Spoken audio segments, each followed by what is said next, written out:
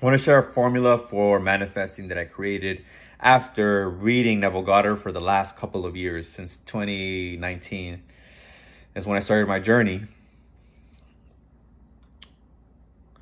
PPR, persistence. Persistence in feeling the wish fulfilled. Number two, presence.